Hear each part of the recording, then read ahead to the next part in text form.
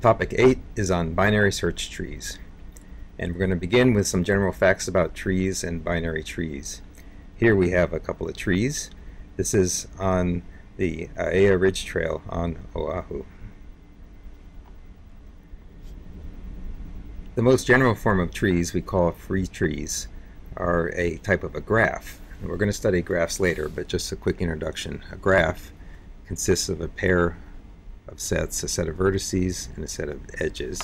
And so, for example, we might have uh, V might be the set uh, V1, V2, and uh, E might be the set V1, V2, like that.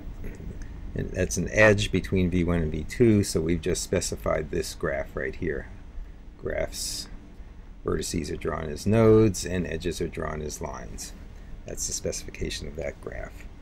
Maybe if we make this a little bit more interesting, we'll add another vertex and another edge.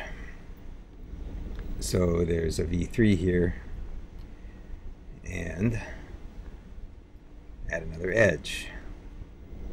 Notice that these edges are set so they're undirected. There's no arrows on them. So we just draw it like a line uh, directed graphs, we would make these tuples with rounded you know, parentheses, and then we would consider it an arc rather than an edge from V1 to V2, for example. Um, so if this was a directed graph, it would look like this. And then you draw an edge as an arrowhead. But that's not what we're doing today. Now, what I've just shown you before I put it in the directed part is also a tree, a free tree. So let's go look at a definition, actually six definitions of free trees. So here's a notation we just introduced, and we're going to use it to define a graph G equals VE, a finite graph with at least one vertex. And the following properties are equivalent definitions of a generalized or free tree. And you can actually prove each of these properties in sequence using the previous one as the assumptions. Um, the first definition, G is connected and has no simple cycles. So connected means that all the nodes are reachable from all other nodes. A uh, unconnected graph would be, for example, this is an unconnected graph. No simple cycles means there's nothing that looks like that, a loop. A simple cycle means we don't count going there and back again on the same edge as a cycle. Equivalent definition, G has no simple cycles and has V minus 1 edges. Okay, there's, as I've counted here, 9 vertices, and if we look, one, two, three, four, five, six, seven, eight edges. So in a tree, the number of edges is always one less than the number of vertices. And we use this fact considerably in our proofs, because when we when we prove things about processing trees, or actually graphs in general, um, if we're dealing with trees, we want to bound it based on the input size, which is going to be the number of vertices and the number of edges. Equivalent fact, you can replace the no simple cycles with connected. G is connected and has V minus 1 edges. So if you connect a graph with V minus 1 edges, you've got you've put in just as just barely enough edges to connect it you don't have enough edges there to make it have simple cycles. Another definition, G is acyclic, there's no cycles, but if you add an edge that joins any two non-adjacent vertices, that is vertices that, that don't already have an edge between them, exactly one cycle is formed. So there's no way to add an edge in here without forming a cycle. And it will form exactly one cycle. Okay, kind of the flip side of that, G is connected but if you delete an edge, then it becomes disconnected. So as you can see, delete any one of these edges and some node will be unreachable from some other node. Finally, every pair of vertices is connected by exactly one path.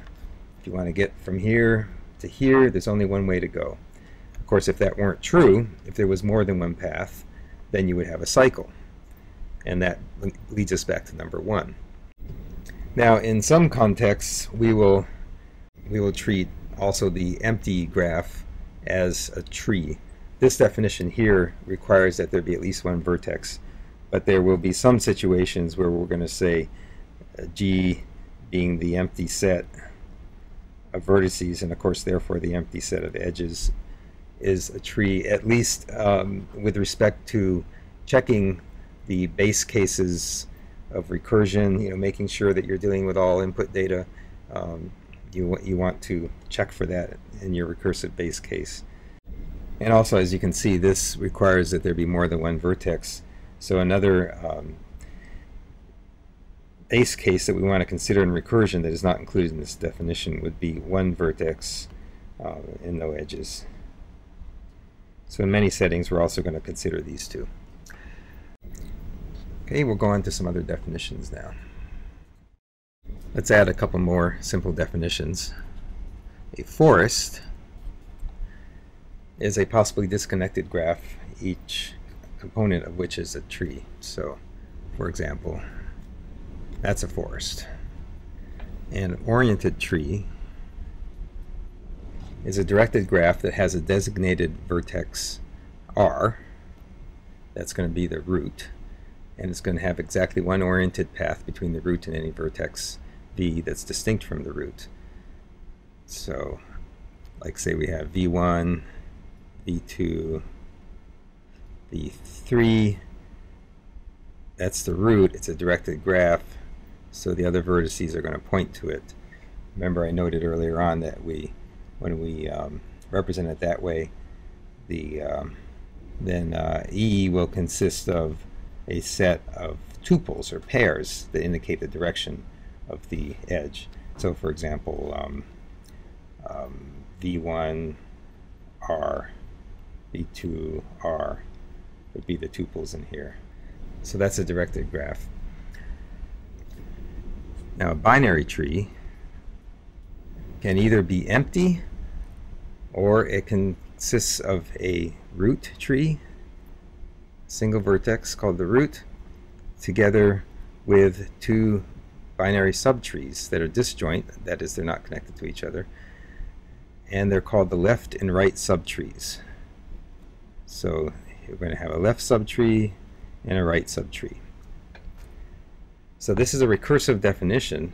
The left subtree can be empty and the right subtree can be empty or the left subtree can be another binary tree that has its own root and its own left and right subtree. And similar over here, the right subtree can be a binary tree with a root and a left subtree and a right subtree. Of course, one of these subtrees can be empty.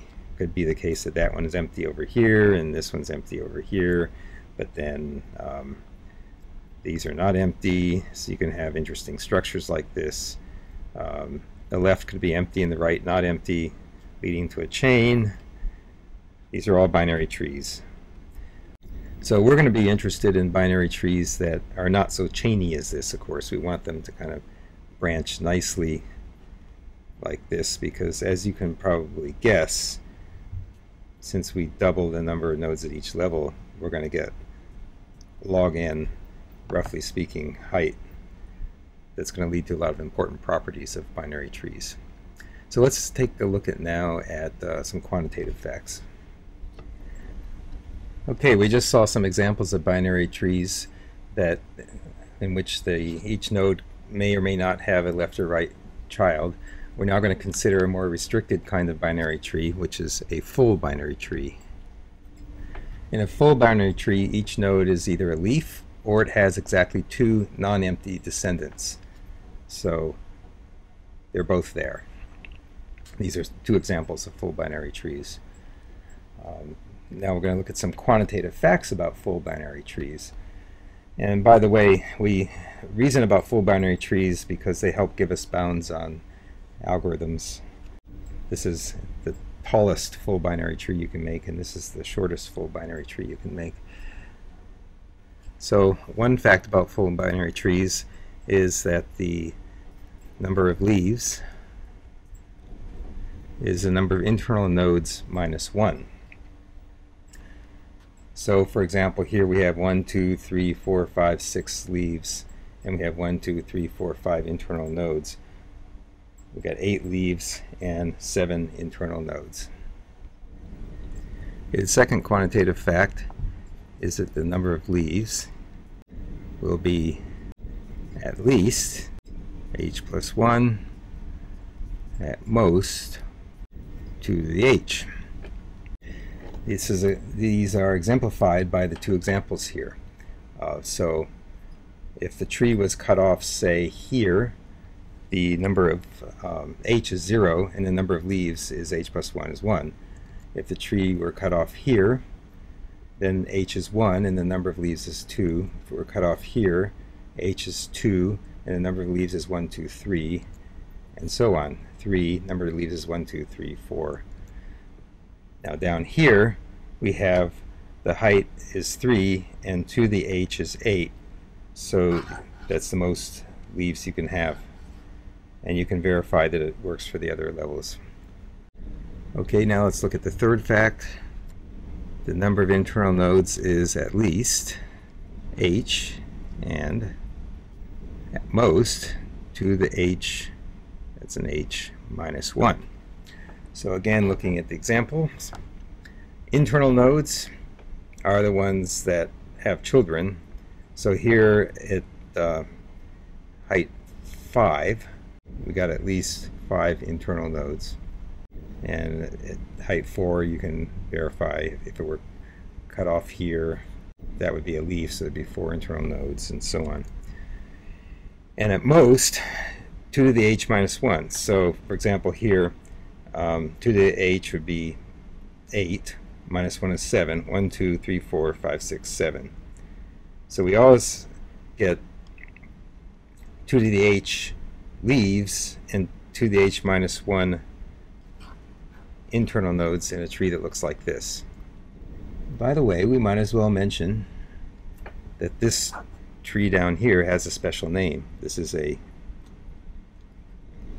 complete binary tree. All the levels have been uh, completed. It's a full binary tree in which all leaves have the same depth and all internal nodes have degree 2. They all have two uh, children. So let's go on to fact number 4 is uh, total number of nodes in a tree. And what you do is just add up the last two results. h plus 1 and h, so it's at least 2h plus 1, and at most 2 to the h minus 1 and 2 to the h. If you added 2 to the h and 2 to the h, you'd get 2 times 2 to the h. So you would get 2 to the h plus 1, but you would be adding 1 too many because that minus 1, so we minus 1. So that's 2 to the h plus 1 minus 1. And you can quickly verify that this is true of our examples here. So for the first one we have um, h is 5, 10 plus 1 is 11, 2, 3, 4, 5, 6, 7, 8, 9, 10, 11. And here total number of nodes is 2 to the h plus 1 minus 1. So 16 minus 1 would be 15, and there are 15 nodes in this tree. So the last fact we want to have here is the height. And this one's pretty critical, so I think I want to make a little room for it. The height is at least log base 2 n plus 1 minus 1, which comes from the second example, and is at most n minus 1 over 2, which is from the first example. So of course the highest binary tree would be of height n minus 1, because you would have just a chain in the highest possible binary tree. You would just have a chain of n minus 1 edges connecting n vertices, because remember there's always one less edges than vertices in a tree. But this is a more restricted kind of binary tree.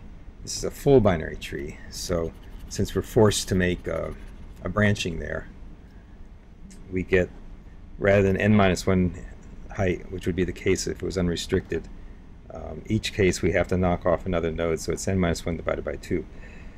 Whereas the height of the complete binary tree the shortest you can make it by filling everything out would be log n plus 1 minus 1.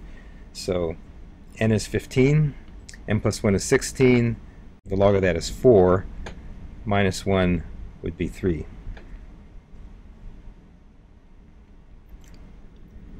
So this concludes our introduction to trees and binary trees and some basic quantitative facts about them that we're going to use later on.